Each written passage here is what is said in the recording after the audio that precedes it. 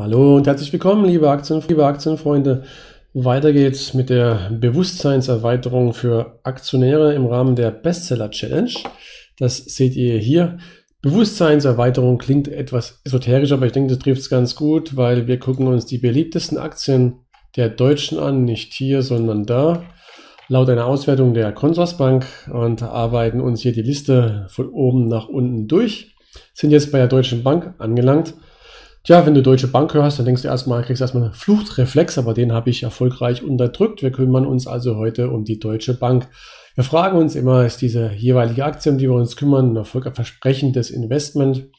Ja oder nein? Und dann schauen wir noch in der gleichen Branche nach, ob es andere Unternehmen, Aktiengesellschaften gibt, die vielleicht noch erfolgversprechender sind.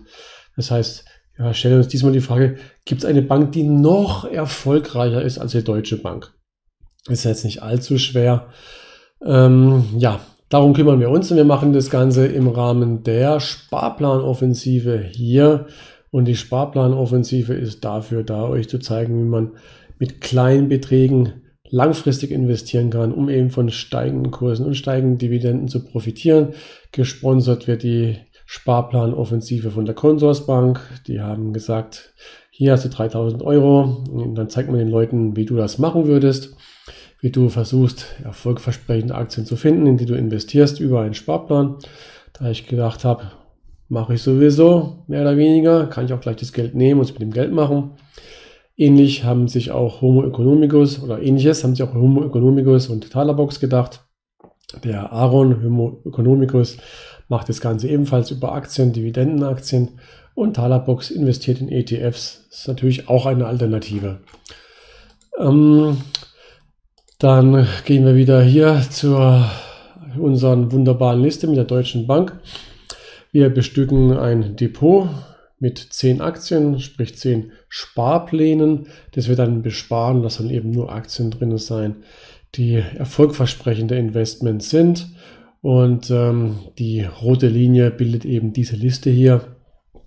Das heißt, äh, wir haben hier keine durchgehende Strategie, wie man so will, sondern mal gucken, ob wir das noch irgendwie hindrücken. Aber nichtsdestotrotz, jede einzelne Aktie soll schon sparplanwürdig sein und wie gesagt ein erfolgversprechendes Investment sein. Ob die Deutsche Bank das ist, das sehen wir gleich. Ähm, noch kurz, wenn du mitmachen möchtest, es gibt hier das Starterpaket und dann äh, kriegst du auch eine kostenlose Vollmitgliedschaft im Aktienfinder für 90 Tage obendrauf. Stichwort Aktienfinder, den sehen wir gleich in Action. Mein Name ist Thorsten Teth und ich bin der Betreiber der Seite aktienfinder.net und ich wiederhole mich an der Stelle gerne. Hier geht es ums langfristige Investieren, um von langfristig steigenden Kursen und Dividenden zu profitieren. Klappt nicht immer, deshalb hier der Risikohinweis. Mit Aktien kannst du nämlich auch mal Geld verlieren. Ich habe keine Glaskugel und ich gebe keine Kaufempfehlung ab. Und falls du nicht glaubst, dass du mit Aktien auch Geld verlieren kannst, das ist eine wunderbare Überleitung, dann zeige ich dir doch jetzt mal hier den langfristigen Chart von der Deutschen Bank. Den siehst du hier in der Bewertung. Wir sind hier auch im Aktienfinder angelangt. Und äh, hier hast du die Kursentwicklung seit Ende 2000. Das ist der Punkt hier. Bis Stand heute. Das ist der Punkt hier. Das andere ist die Prognose.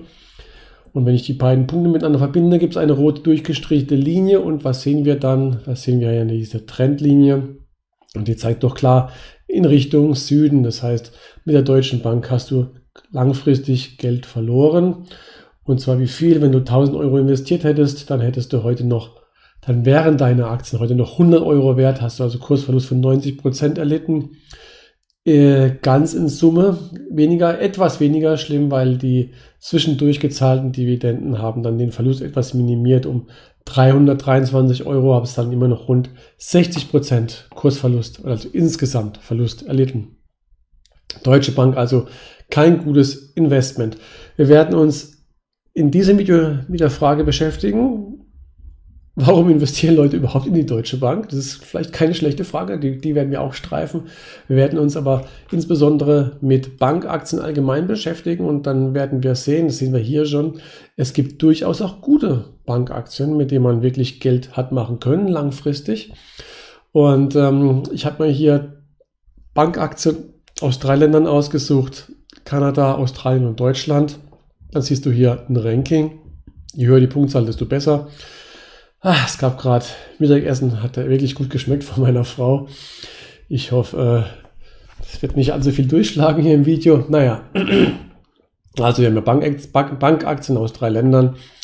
Und du, wir haben hier ein Ranking eingestellt, das ist Ranking Dividendenertrag, wo es darum geht, oder wo wir jemanden simulieren, einen Investor simulieren, der ähm, die Dividendenaktien sucht, schon mit einer stattlichen Dividendenrendite. Und da siehst du, dass die äh, kanadischen Banken noch sehr gut abschneiden, dass auch die australischen Banken äh, ordentlich abschneiden und dass die deutschen Banken, also Deutsche Bank und Commerzbank, sehr schlecht abschneiden. Und das sind eben Klassenunterschiede hier. Und es ist, will ich, darauf will ich in diesem Video auch hinaus, kein Zufall, dass die deutschen Banken schlecht abschneiden und gerade die kanadischen Banken extrem gut und auch die australischen Banken besser abschneiden. Amerikanische Banken habe ich hier, also US-amerikanische Banken, lasse ich jetzt in diesem Video mal außen vor. Äh, erstmal die Frage, warum investieren Leute überhaupt in die Deutsche Bank? Und äh, ich glaube, da gibt es mehrere Gründe, die auch psychologisch sind, psychologischer Natur sind. Zum ersten würde ich vermuten, dass die Deutsche Bank nach wie vor, dass der Klang Deutsche Bank nach wie vor äh, ein teilweise wenigstens wohlwollender Klang ist. Und das nächste ist, dass äh, du ja siehst, dass die Aktie immer billiger wird. Und äh, billig ist ja erstmal nicht schlecht. Jedenfalls könntest du dann denken, dass hier die, ein guter Einstiegszeitpunkt gekommen ist, vor allem wenn du das nur ein bisschen kurzfristiger anschaust, dann hier zum Beispiel, kannst du denken, oh, vor kurzem war die Deutsche Bank noch 16 Euro gekostet, jetzt kostet es nur noch 6,50 Euro. Dann schlage ich doch jetzt mal zu, weil ich da mehr Aktien fürs gleiche Geld kriege. Ist ja richtig, auch dass sie billig ist, ist richtig. Aber das ist natürlich nicht die Frage, oder die, die Frage fehlt, ist ja auch preiswert. Also hat die Aktie auch eine gewisse Qualität, das werden wir uns auch noch gleich angucken, weil der Preis alleine entscheidet eben nicht, ob die Aktie ein gutes Investment ist und ob du jetzt einsteigen sollst oder nicht. Du musst halt auch gucken, ist es die Aktie wert, also ist die Aktie preiswert. Und das machen wir hier fest an der langfristigen Gewinnentwicklung und die sieht bei der Deutschen Bank, das werden wir auch gleich sehen, leider grausig aus. Ein anderer Grund, der sein könnte, warum äh, Leute nach wie vor Deutsche Bank Aktien kaufen, ist vermutlich, dass es Kennzahlen gibt, die suggerieren, dass die Aktie eben ein Schnäppchen ist. Also geht auch wieder in Richtung billig. Beispielsweise das äh, Kurs-Buchwert-Verhältnis. Also wenn du nach dem Buchwert gehst, dann ähm, kostet dich ein Euro äh, Vermögen der Deutschen Bank ungefähr momentan, glaube ich, 22 Cent. Das heißt, du kriegst die Deutsche Bank äh, hinterhergeschmissen, so fast ein Fünftel des Preises, den die Deutsche Bank laut Bilanz eigentlich wert ist. Und äh, das sind Kennzahlen, die dann suggerieren, dass du eben hier ein Schnäppchen machst. Nichtsdestotrotz, bis heute ist es so gewesen, dass wenn du langfristig bei der Bayerischen Bank Aktie geblieben bist, hast du Geld verloren. Immer. Immer. Es gibt keinen Unterschied. Sogar wenn du da unten gekauft hättest mal, zu, zum Tief der Finanzkrise, bis heute hast du auch Geld verloren. Zwischenzeitlich, aber es gilt auch für einen Penny Stock, kannst du immer mal Gewinn machen. Aber das zählt ja für uns nicht. Wir sind keine Trader und wir sind auch keine Spekulanten. Wie grausig die Gewinnentwicklung der Deutschen Bank aussieht, langfristig, das siehst du hier an der Gewinnentwicklung pro Aktie. Äh, keine Stabilität festzustellen und wenn es hier einen Trend gibt, dann ist es eben der, dass es eher schlechter wird statt besser. Entsprechend instabil auch die Entwicklung der Dividenden, wie du hier siehst. Ähm, bis zum bis zur Finanzkrise hat sich das Ganze ganz gut entwickelt. Da hat es sogar recht gut entwickelt. Stichwort Investmentbanking, bevor es der Deutschen Bank auf die Nase fiel und äh, seitdem eben mehr oder weniger ein Trauerspiel. Ja, Stichwort Investmentbanking, vielleicht noch was zur Deutschen Bank. Die Deutsche Bank hat irgendwo den roten Faden verloren oder ist dann irgendwo auf Abwege geraten Ende der 80er Jahre. Es gibt einen wunderbaren Artikel hier der das Ganze auch schön zusammenfasst vom Handelsblatt. Das heißt, warum die Deutsche Bank international scheiterte. Da geht es explizit schwerpunktmäßig ums Investmentbanking. Und im Prinzip liegt es daran, also die Deutsche Bank hat Ende der 80er Jahre angefangen, im angelsächsischen Raum ähm, Unternehmen zuzukaufen, die im Investmentbanking tätig sind und hat die Jungs machen lassen und äh, hat dazu geführt, dass in den Hochzeiten vier Fünftel des Gewinns vom Investmentbanking kam. Das heißt, ähm, es gab eine ganz klare Schwerpunktverlagerung hin zum Investmentbanking, was auch bankintern zu Verwerfungen geführt hat. Also Investmentbanker, Top-Investmentbanker konnten deutlich mehr verdienen und haben auch deutlich mehr verdient als der Vorstandsvorsitzende der Deutschen Bank selbst. Es gab äh, Rekord, äh, der Rekordbonus war 80 Millionen, ich glaube es waren US-Dollar, steht dann auch nochmal hier drin. Und letztendlich ist das Investmentbanking der Deutschen Bank aber auf die Füße gefallen. Nicht sofort auch im Rahmen der Finanzkrise, aber durch die vielen Skandale, die gekommen sind, weil mit dem Aufstieg des Investmentbankings bei der Deutschen Bank äh, hat die Deutsche Bank auch den moralischen Kompass verloren und es hat man dann, oder das wissen wir heute, durch die ganzen Skandale, die nach und nach aufgepoppt sind. Es gab den Libor-Skandal, also die Manipulation von äh, Leitzinssätzen zur Bereicherung der Banken war nicht nur die Deutsche Bank berücksichtigt. Im Cum-Ex-Skandal gab es aber auch nicht ausschließlich die Deutsche Bank äh, mit drin im Boot. Da war auch beispielsweise die Commerzbank. Dann gab es die Panama Papers. Es gab diverse Geldwäscheskandale, unter anderem Geld, das nach Russland geflossen ist. Es gab auch in den USA mehrere Skandale, unter anderem auch mit ähm, Hypotheken. Äh, die Deutsche Bank, ich glaube, da steht es nicht drin, in einer anderen Quelle steht es drin, die wurde dann äh, in den USA als Slumlord bezeichnet, weil sie auch für die für eine verbreitete Verelendung von Vierteln äh, verantwortlich gemacht worden ist. Und sie musste da auch, oder sie hat dann auch da Geld äh, bezahlt. In Summe hat die Deutsche Bank über 16 Milliarden ähm, US-Dollar schon Strafe aufgebrummt bekommen. Im Rahmen dieser ganzen Skandale. Und äh, das ist deutlich mehr, als die Deutsche Bank seit 2008 kumuliert an Gewinnen erwirtschaftet hat. Da hat sie ungefähr 1,6 Milliarden Euro erwirtschaftet. Wobei da sind natürlich dann auch die Verluste wenigstens teilweise abgezogen, also die Strafzahlungen. Aber nur mal so für die Größenordnung. Und Stand heute ist die Deutsche Bank wieder zur Erkenntnis gekommen, sich doch auf das Kerngeschäft zu konzentrieren und das Investmentbanking zurechtzustutzen. Das Kerngeschäft einer Bank ist die Kreditvergabe, um die Wirtschaft am Laufen zu halten. Und äh, das heißt, es gibt das Firmenkundengeschäft, es gibt das Privatkundengeschäft, dann haben wir auch das Investmentbanking, was eben zurechtgestutzt werden soll, also der Eigenhandel insbesondere oder Börsengänge begleiten, Merger und solche Geschichten. Und das Asset Management, was ja die Deutsche Bank auch hat, also die DWS, die Tochtergesellschaft, die dann Fonds anlegen und so, die auch an die Börse gegangen sind. Gut, und wie gesagt, das Investmentbanking soll zurechtgestutzt werden. Gleichzeitig äh, soll dann natürlich auch die Bank verschlankt werden und so weiter, weil man jetzt kein großes Rad mehr dreht. Muss man, man muss dann wieder solide wirtschaften und äh, ob die Deutsche Bank mal wieder irgendwann zum alten Glanz zurückkehrt, das ist erst erstmal zu bezweifeln. Also es wird kein leichter Weg werden. Insofern auch nicht, als dass die Rahmenbedingungen ja sehr schwer sind, insbesondere in der Eurozone. Stichwort Nullzins, und da wird ja, werden ja die Margen abgeknabbert im Kerngeschäft. Also alles äh, mit sehr großen Fragezeichen behaftet ähm, bei der Deutschen Bank und definitiv nichts, was man äh, jetzt einfach mal eine Aktie, die man kauft, um sie liegen zu lassen, von steigenden Kursen und steigenden Dividenden zu profitieren. Ja, wenn man das eben so sieht, als deutscher Aktionär und dann auch noch die Commerzbank sich anguckt, dann äh, möchte man doch die Finger von Aktien lassen. Und das ist auch genau das, was wir im Starterdepot gemacht haben. Und zwar zeige ich dir das mal. Da gab es nämlich eine Abstimmung, was du hier siehst. Das ist der begleitende Blogbeitrag zum Video. Ich mache zu jedem Video dann auch noch immer einen Blogbeitrag. Und da stehen auch die ganzen Links drin. Also hier gibt es recht viele Verlinkungen. Die ganzen blauen Dinger hier. Da kannst du dann dich noch mal ein bisschen mehr einlesen, wenn du möchtest.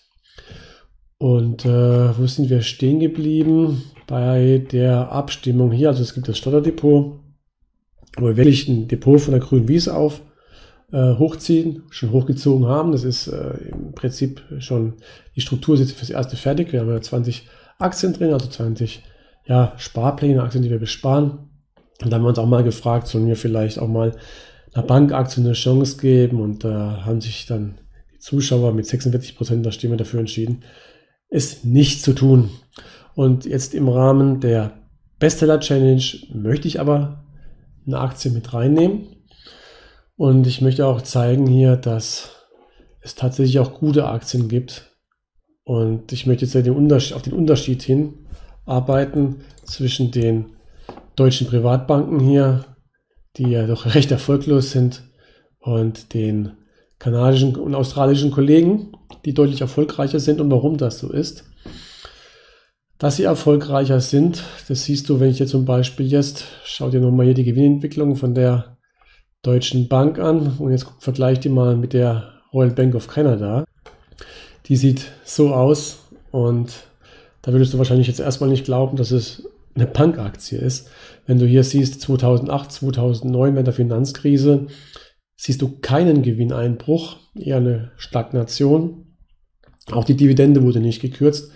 Und wir können sogar noch den Zoom abstellen.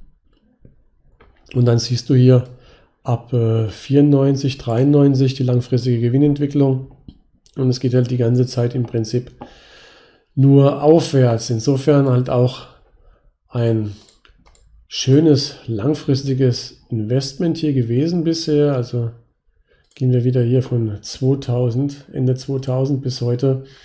Siehst du hier aufs Jahr, hättest du 10% Rendite gemacht, die Dividenden mit einbezogen.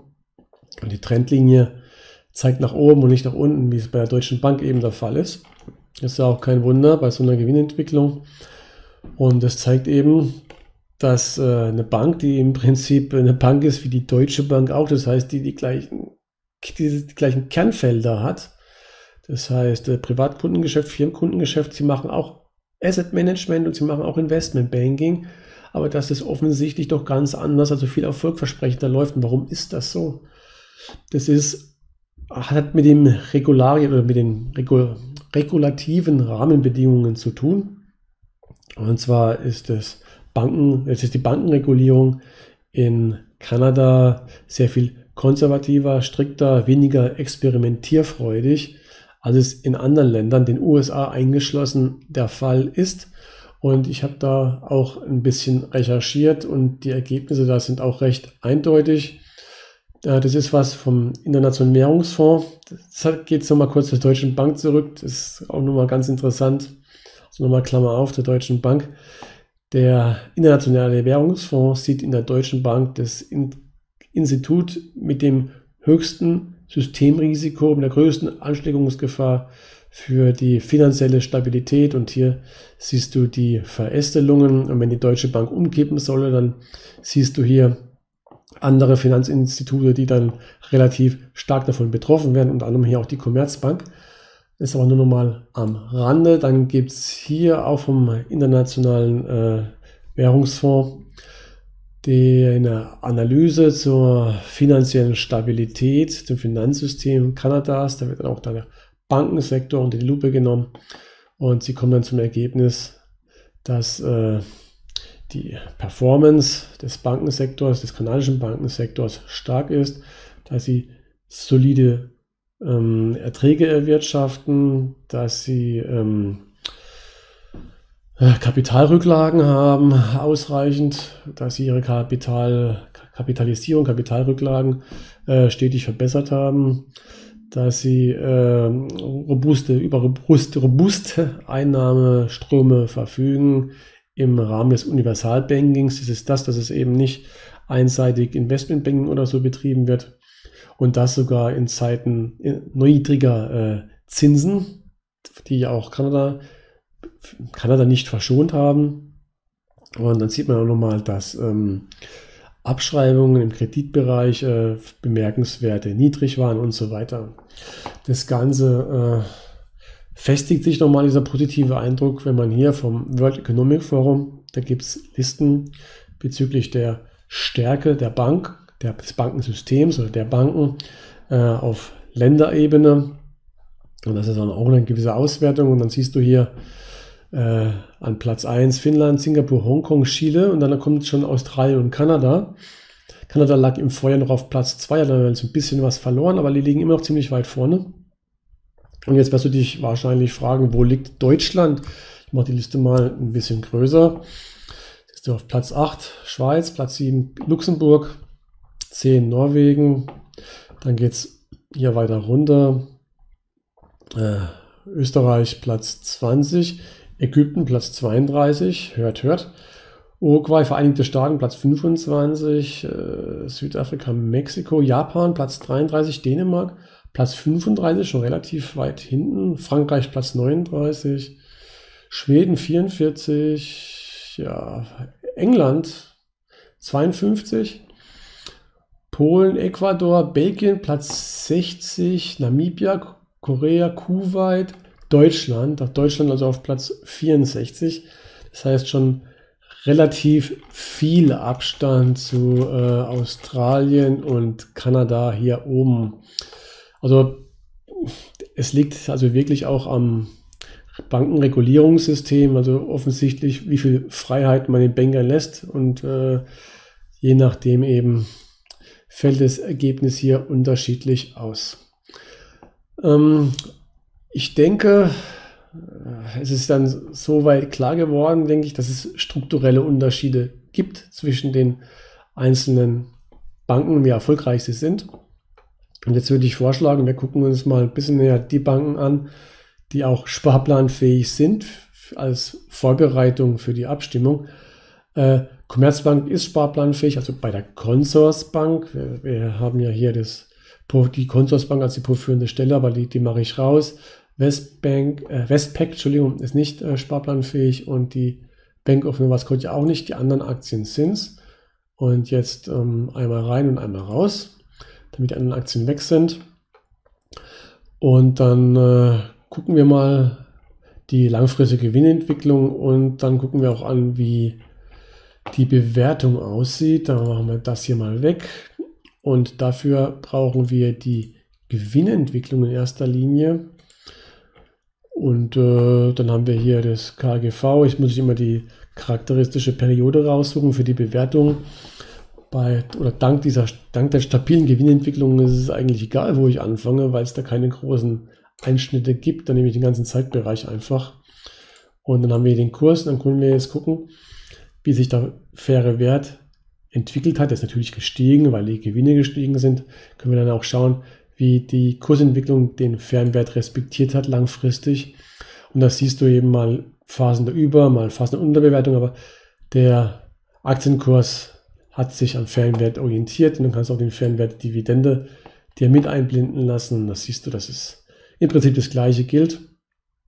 Wir haben ja im Prinzip schon Phasen der Über- und Untertreibung, insbesondere natürlich während der Finanzkrise, aber summa summarum noch relativ äh, nah beim fairen Wert, wenn man das mit anderen Aktien vergleicht. Und jetzt ist natürlich die Frage, ist die Royal Bank of Canada über- oder unterbewertet? Und du siehst schon, der Aktienkurs ist unterhalb, liegt unterhalb der beiden fairen Werte, Fernwerte Dividende, Fernwert basiert auf dem bilanzierten Gewinn, auf dem operativen Cashflow, den können wir nicht nehmen, weil es ein, eine Bank ist. Und da ist das nicht äh, eins zu eins mit dem, entspricht es nicht eins zu eins der echten Geschäftsentwicklung der Geldfluss in und aus, und aus der Bank raus.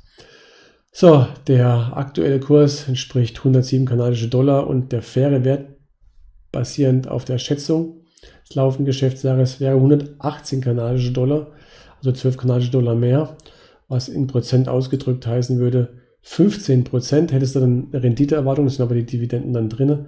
Apropos Dividende, wenn du den Fernwert Dividende nimmst, liegt das sogar nochmal leicht drüber.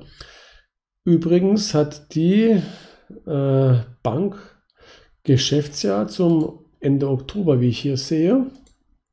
Das heißt, das letzte Geschäftsjahr ist gerade abgelaufen und äh, wir haben jetzt den 2. November, das heißt, wir haben noch ein Quartal Schätzung drin, und, aber es ist schon wohl relativ nah an der Realität und da wäre dann der faire Wert 111 kanadische Dollar im Vergleich zu 107 kanadische Dollar. Man kann sagen, fast fair bewertet, leicht unterbewertet die Aktie. Und äh, wenn du wissen willst, dann hier, was für eine Renditeerwartung du hast, kannst du hier mal gucken, kannst auch ein bisschen tief stapeln unterhalb des bilanzierten Gewinns, dann wären das hier ungefähr 9%. Wir erinnern uns, 10% war das langfristige Mittel was man da mit der Royal Bank of Canada an Rendite erwirtschaftet hat. Und wenn wir den, äh, die Renditeerwartung basierend auf dem bilanzierten, auf dem auf der geschätzten Gewinnentwicklung nehmen, dann kommen wir auch wieder genau auf die 10%. Äh, ist insofern ja alles plausibel. Dann gucken wir uns mal die Toronto Dominion Bank an. Da zuerst nochmal hier ein kleiner Qualitätscheck. Und da sehen wir dann die langfristige Gewinnentwicklung hier. Auch hier erstmal von links unten nach rechts oben. Sehen hier aber ähm, gewisse Unregelmäßigkeiten. Äh, wenn hier die Nettomarge nach oben springt, dann hat es meistens irgendwas, äh, sind es meistens ähm, Ursachen, die im außergewöhnlichen Geschäftsumfeld zu suchen sind. Vielleicht äh, Verkäufe, Unternehmensverkäufe oder sonst irgendwas. Hier in 2.2, da ging mal was schief, aber langfristig gesehen hier auch äh, recht erfolgversprechend. Dann schauen wir uns mal die Bewertung an. Dann müssen wir mal wieder kurz zurück auf Losgehen. Dann sehen wir hier die Gewinnentwicklung erneut. Und äh, dann haben wir hier die KGVs, können wir ab hier anfangen und ziehen da mal den Mauszeiger drüber. Dann haben wir hier die, die Kursentwicklung. Für diesen Zeitraum hier berechnen wir dann den fairen Wert, legen den drüber. Siehst du, ähnlich wie bei der Roy Bank of Canada wird auch hier der faire Wert respektiert, dann fairen Wert Dividende auch nochmal drüber legen.